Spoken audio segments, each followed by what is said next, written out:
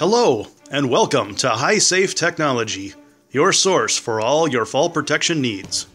First, let's look at some facts about fall protection. Falls are one of the leading causes of traumatic occupational death. Not using fall protection equipment, or using the wrong fall protection equipment, can mean the difference between life and death.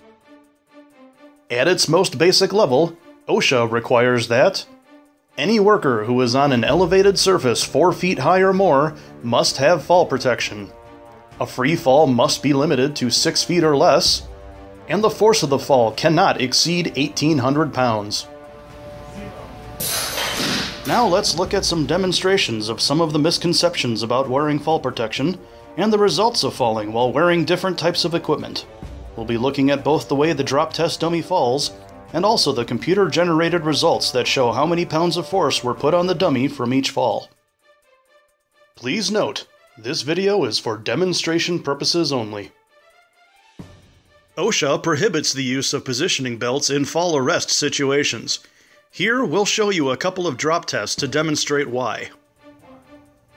As you can see, the dummy's spine would have been in bad shape, and the chart on the upper right shows that the force on his body was well outside of the acceptable limit of 1800 pounds.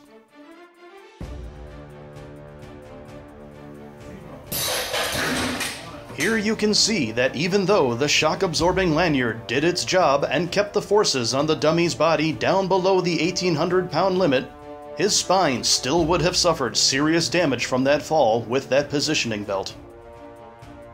Just like positioning belts, OSHA also prohibits the use of climbing harnesses for fall arrest situations due to the possibility of spinal damage.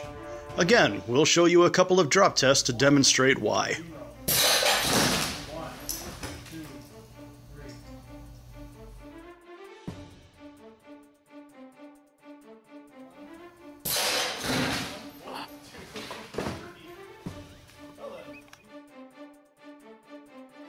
Obviously, this is not a safe way to be connected for fall protection. We had to put the dummy back together after this one. The full body harness is the only type allowed by OSHA for fall arrest. However, on harnesses that include D-rings located at the hips, these D-rings are not allowed to be used for fall arrest situations. Here's why.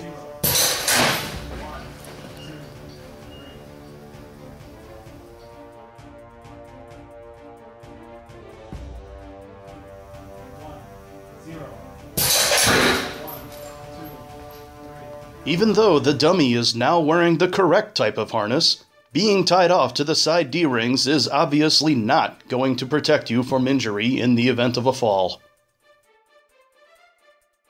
Full body harness front web loops or D rings are meant to be used for rescue applications or for vertical climbing where the OSHA freefall limit is 2 feet.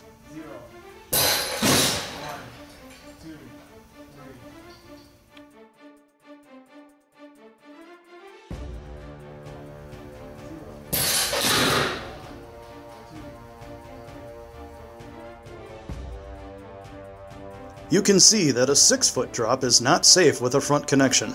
A real person would be choking at this point. For fall arrest applications other than vertical, the only correct point of attachment is to the back D-ring. However, this next drop will demonstrate why a straight lanyard does not meet OSHA requirements for fall arrest.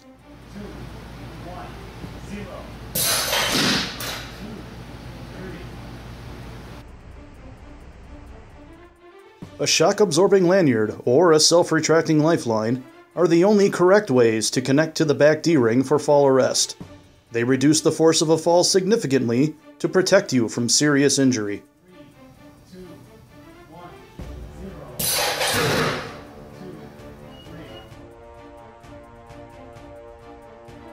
An SRL dramatically limits both the force on your body from a fall and the distance fallen.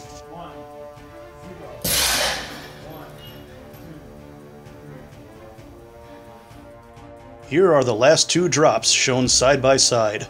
On the left, a full body harness, a back D-ring attachment, and a shock absorbing lanyard. On the right, a full body harness, a back D-ring attachment, and a self-retracting lifeline. You can now clearly see why using the correct fall protection equipment is crucial to keeping workers safe at heights.